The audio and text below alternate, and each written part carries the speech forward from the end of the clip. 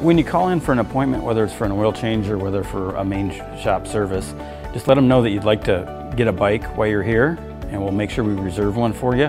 We'll have it cleaned up, ready to go, and a helmet available for you at that time. The great thing about getting a bike from us is we are really close to the bike trails.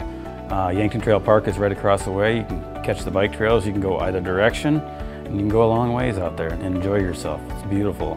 We can text you, let you know your vehicle's done, and you can come on back.